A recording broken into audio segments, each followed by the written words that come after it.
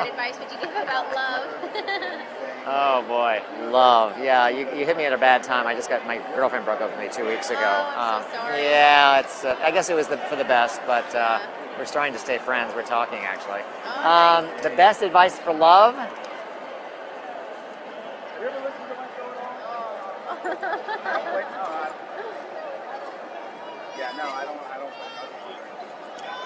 You know, I think the best advice that I, I have to remind myself that um, in a relationship, I'm not there to be serviced. I'm there to be of service.